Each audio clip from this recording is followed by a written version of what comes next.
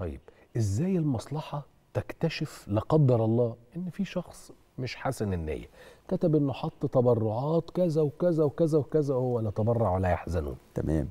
آه بعد ما بنقدم الإقرار الضريبي يعني بعد ما حضرتك بتقدم الإقرار الضريبي بتبقى في مرحلة تانية مم. اسمها مرحلة الفحص. أيوه. آه مرحلة الفحص دي بقى أنا ببص على إقرارك الضريبي وبيبقى ليا دور. الدور بتاعي إن أنا أتحقق إن كل رقم حضرتك كتبته في إقرارك الضريبي ليه مستند يؤيده موجود عند حضرتك مم. إحنا دايما غالبا المشاكل اللي بتحصل بين الممول وبين مصلحة الضرائب إن بتبقى في بيانات عند الممول في إقراره هو ما معهوش مستندات بشأنها فبنبقى إحنا هنا قدام مشكلة إنما لو أنت عند حضرتك مستندات لكل رقم حضرتك كتبته في إقرارك لا خلاص أنت إقرارك ده بيؤخذ بيه في المصلحة وأقول لك حاجة تانية كمان. مم.